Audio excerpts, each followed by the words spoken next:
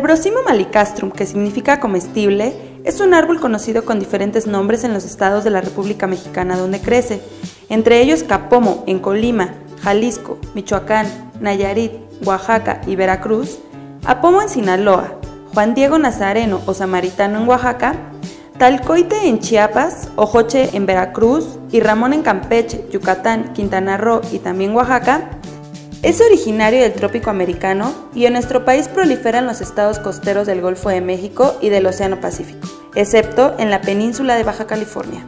También se encuentra en algunos estados de la cuenca del río Balsas, se extiende por Centroamérica y llega hasta Colombia, Perú y Venezuela, además de Cuba, Jamaica y Trinidad y Tobago en el Caribe.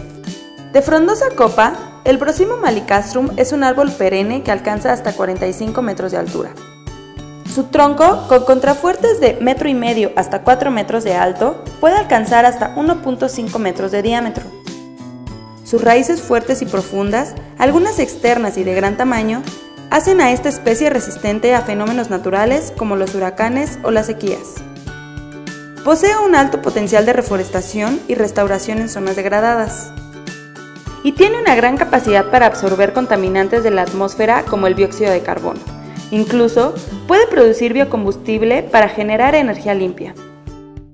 Las propiedades del Brosimo malicastrum lo convierten en un elemento de la naturaleza propicio para desarrollar proyectos que fortalezcan las políticas públicas orientadas a mitigar los efectos del cambio climático y apoyar la cruzada contra el hambre.